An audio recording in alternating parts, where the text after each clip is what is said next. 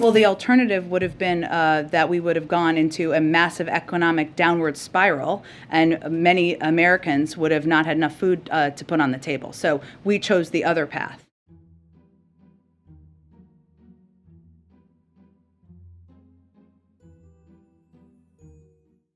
Does the president then acknowledge any responsibility for the inflation that we're seeing now based on the decisions that he's made when he came into office? Well, I would say, as the president has talked about quite a bit, there are a range of factors, including uh, the pandemic, the impact on the supply chains, and our effort. And what we've tried to do from the beginning is take steps to address that, address the supply chains. And we've had a lot of success moving more equipment and goods through through um, through ports, et cetera. We've also seen, given energy is such an, a significant driver of this data, an increase in energy prices over the last month plus since the invasion of Ukraine.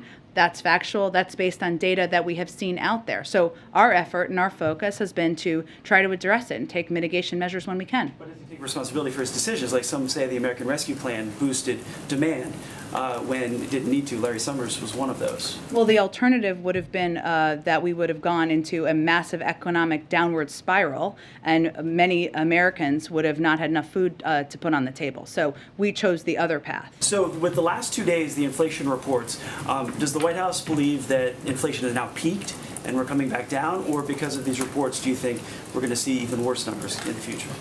We'll let the Federal Reserve uh, make projections about that. They have the purview uh, over those projections. Obviously, what we're trying to do is mitigate the, the energy impact and take steps to do exactly that, release from the Strategic Petroleum Reserve and other actions working to get more supply out into the marketplace. But, you know, again, projections of of a of when we're hitting a height and and where it will look, we, we will leave that to the Federal Reserve.